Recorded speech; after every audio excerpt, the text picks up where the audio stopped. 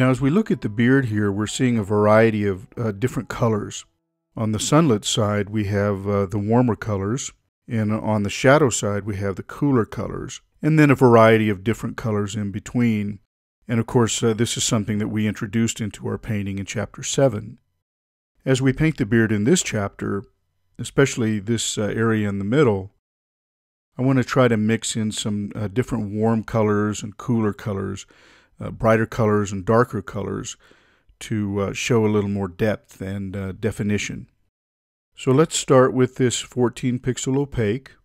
If you'd like to follow along, you can open the file Chapter 9 Fisherman Face. And to see what our painting will look like at the end of this chapter, you can look at uh, Chapter 10 Fisherman Beard. We'll start with the uh, area of the mustache, and uh, as I always do, I'll look uh, to my reference image for guidance, and I'll just take note of some of the different features I'm seeing. Like I'm seeing these brighter areas, the shape of this curl, this curl over here. And now we'll start to uh, add a little more detail to this area. I'll sample this color right here and with my brush almost straight up and down, uh, I'll uh, add a few uh, brighter strokes to this area. Maybe sample here and add a couple of strokes over here. Fill in this area a little. Sample, and with my brush uh, fairly upright, adding uh, more detail. I'll go over here, sample, and add some more hair detail. And uh, remember, the harder you press, uh, the more paint that's going to be transferred.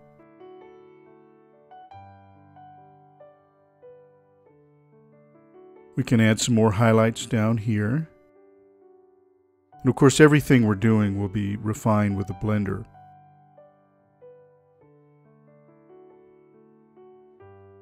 Let's go to a clean blender. And as the name would imply, we'll blend these strokes together with the uh, underpainting. I'll use more of the side of the brush to blend.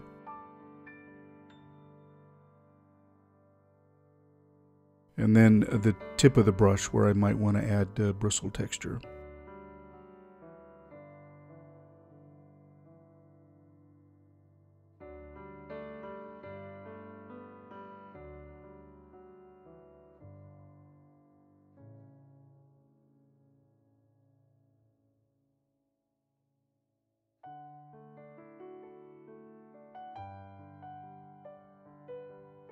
Let's take a step back and we'll compare. We'll look at our original and we'll continue to add some more uh, detail to this area. Choose the 14 pixel opaque and we'll add a few more highlights.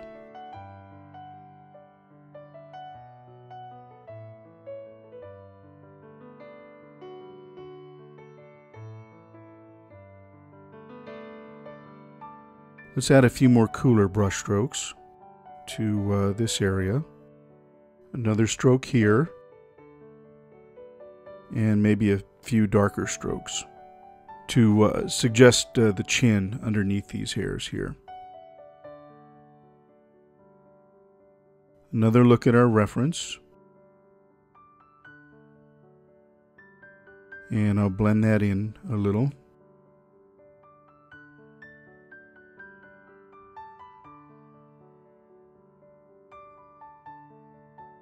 For another perspective, let's reverse our canvas. And as I look at this area, I think uh, I want to see a little more um, randomness and maybe a few brighter highlights. It's looking too, uh, too neat, I guess. I'll go back to uh, an opaque painter, uh, this time a 19 pixel, and I'll just uh, work this area a little more.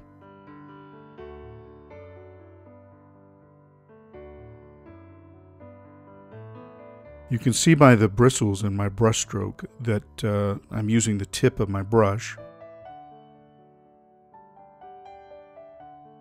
I kind of like to see the bristles when I'm painting hair. A couple more strokes. And I'll uh, do some more blending to uh, reduce the overstrong texture that I'm seeing.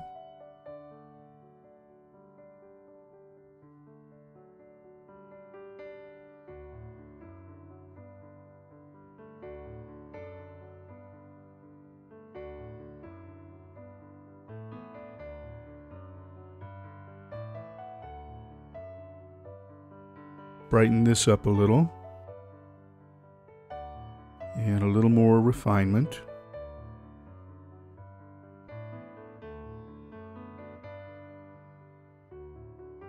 And I think we're looking pretty good with this area. Let's go ahead and speed the video up so uh, you'll get a sense of uh, the flow uh, of the process. I'm using my clean blender to refine and reshape. Back to an opaque painter, sampling and painting, adding detail as I go.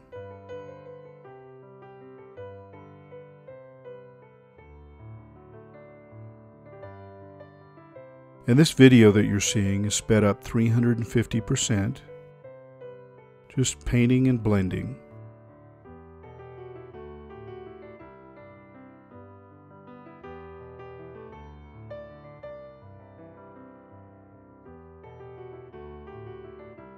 Working this curl with the blender.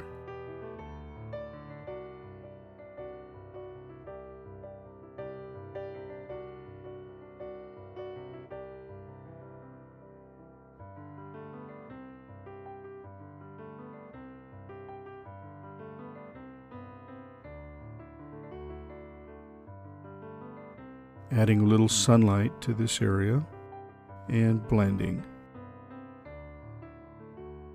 For those of you who like to paint animals, like me, you could use uh, these same brushes and these same techniques to paint uh, animal fur. I do have some future tutorial projects planned that will uh, involve painting some different kinds of animals, uh, like birds, with the uh, mixer brush and the smudge tool.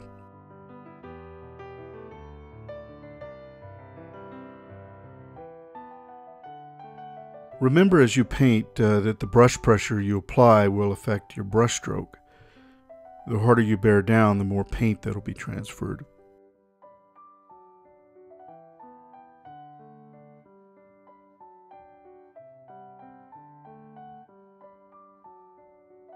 I said before that I really enjoy uh, painting beards with all their natural curls and all the little highlights, uh, the reflective quality of the hair, lots of opportunities for creative brushwork.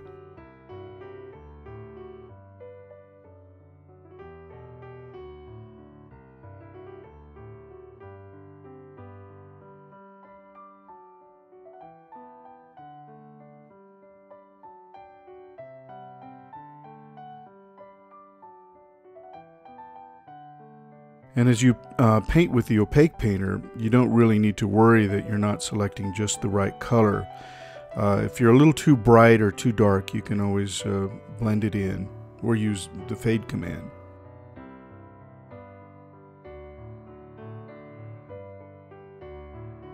Or uh, if you're too close to the uh, underlying color, uh, you can always just choose another color that's a little brighter or a little darker.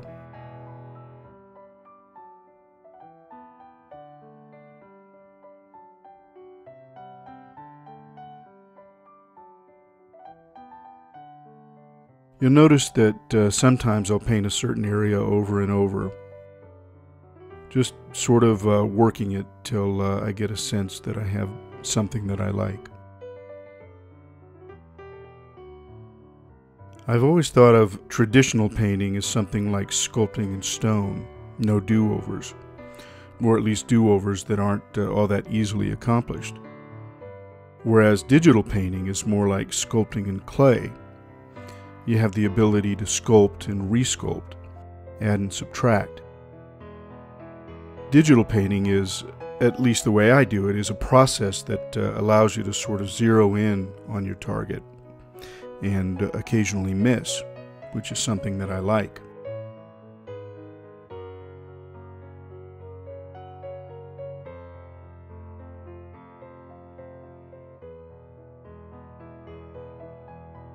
Painting uh, with the mixer brush, uh, the way we're painting here, I think is sort of a stepping stone to painting from scratch onto a blank canvas.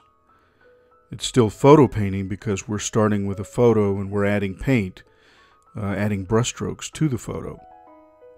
But as you can see, I like to give myself freedom to disregard the photo, uh, to be a little creative in the way I apply my brushes.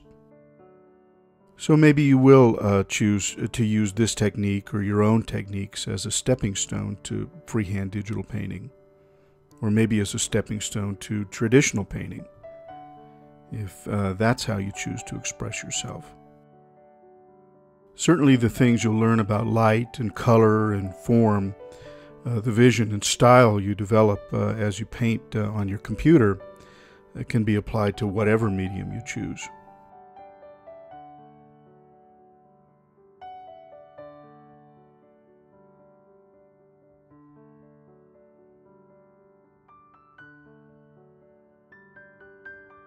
One thing I will say is that if you don't uh, feel comfortable just yet uh, adding paint with the opaque painters uh, the way we are here, you may just want to work with your clean blenders and then uh, add detail with the uh, wet painters.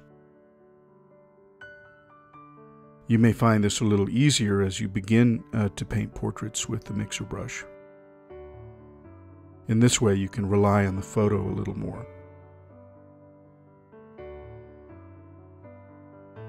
Adding some highlights to this sideburn. Blending.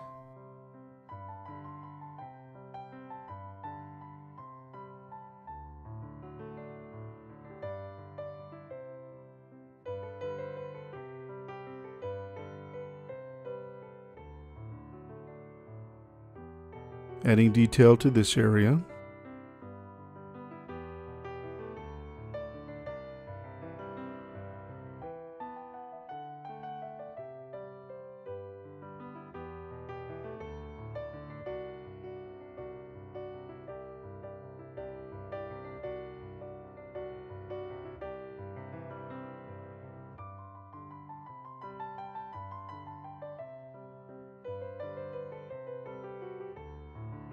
Zooming out again for a wider perspective.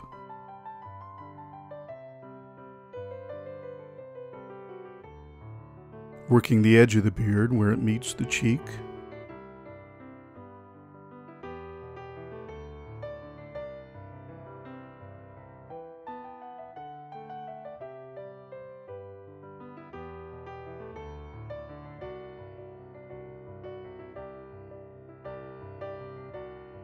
Now working the sideburn on this side and the edge of the beard right here.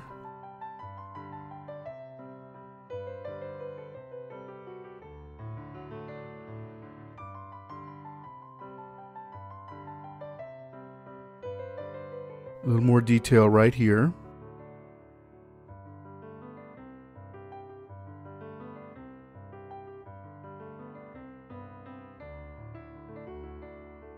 Some broader highlights with a 19 pixel painter, and now some uh, refinement. And just for the heck of it, some loose hairs here, even though we'll be reworking this after we've done the background.